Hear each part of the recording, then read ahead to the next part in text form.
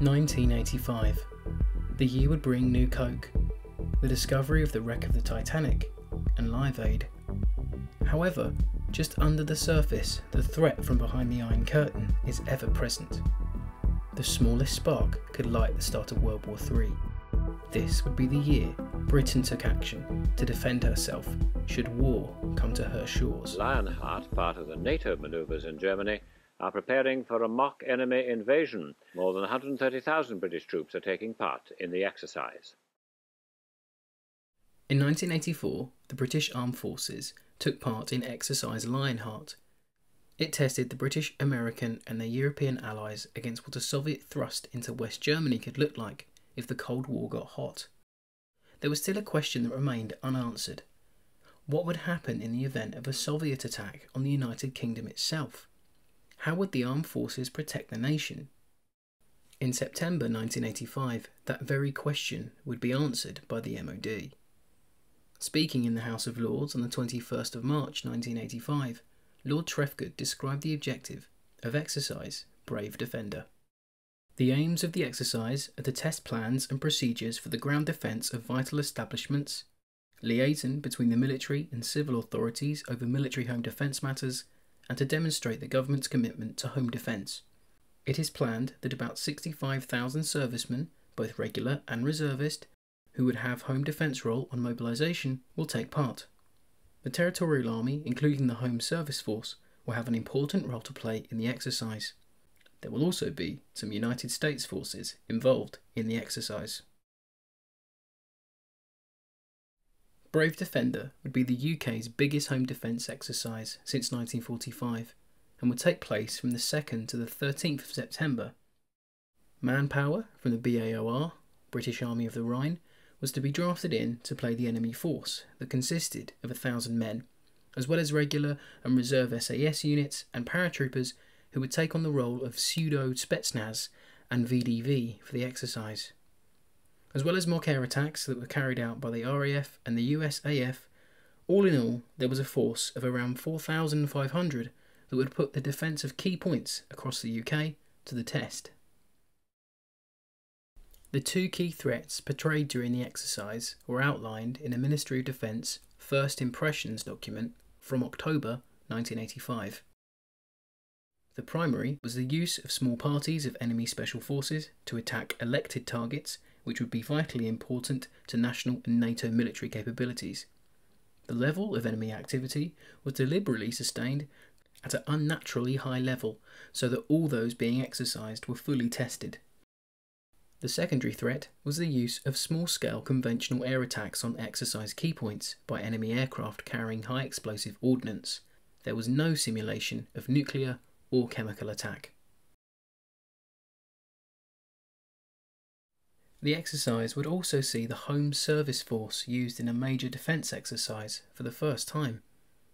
The force was created along the same lines as the Home Guard of the Second World War, but the difference between the HSF and the Home Guard was that instead of calling for civilian volunteers and training them from the ground up into soldiers, the Home Service Force would consist of men aged between the ages of 20 and 60, and they would need to have at least two years of previous regular or reserve military service or military cadet or police service.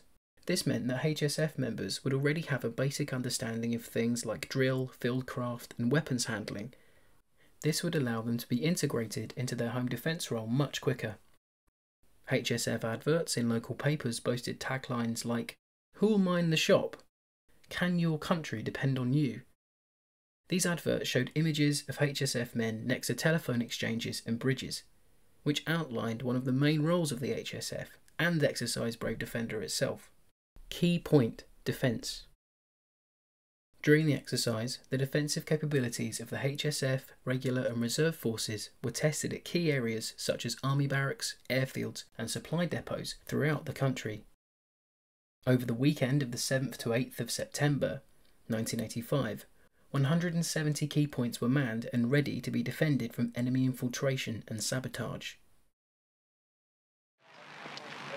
Accompanied by service chiefs, Mr. Heseltine arrived at key point 504, otherwise known as the fueling depot at RAF Northolt. Outside, CND kept vigil in protest against what they see as a provocative, sinister, and unnecessary exercise. Inside, weekend soldiers from the newly formed Home Service Force kept watch for intruders, two of whom arrived right on cue for a staged incident.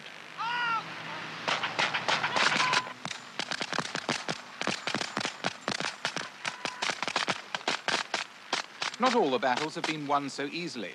The HSF were completely fooled yesterday by an SAS microlight plane, which dropped a smoke bomb by the control tower. But the Defence Secretary seemed pleased by what he sees as a cheap but effective form of emergency defence. One of the key points being defended was Biggin Hill Airport in Kent. The former Royal Air Force Base had played a key role during the Battle of Britain in 1940 and had been an operational RAF airfield up until 1958. In 85, the airfield was still being used by the RAF as an officer and aircrew selection centre. During Brave Defender, the airfield was under the protection of a force consisting of three platoons from the Adult Recruit Training Company of the Guards Depot at Pirbright and 25 regular soldiers of the Welsh Guards. Platoon Sergeant Brian Eager explains the Guards' role that September. The three platoons used were each placed with different tasks. One was exterior patrol and barbed wire installation.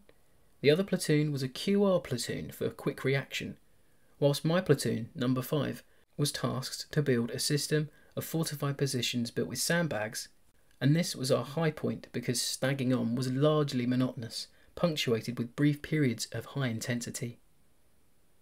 Major Michael Sr. told the Sevenoaks Chronicle newspaper about one of the large enemy actions that the men under his command had to deal with during the exercise.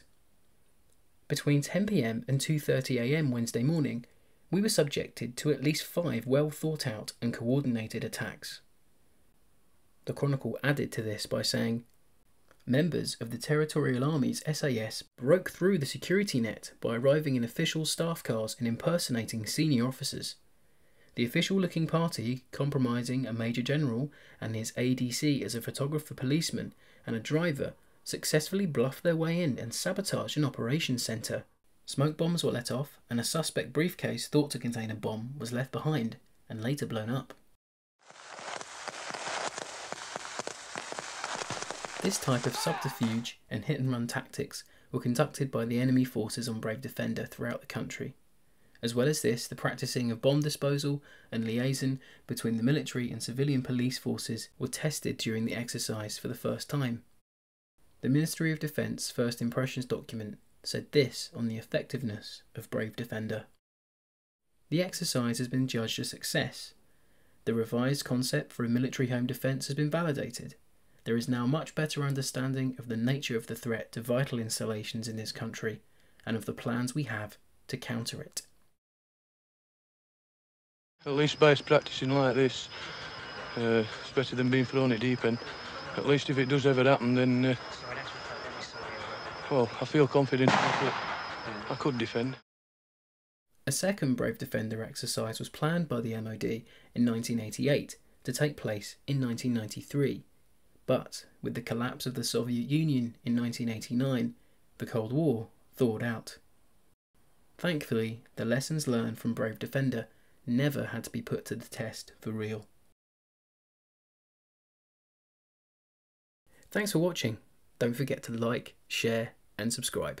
And I'll catch you again in the next one.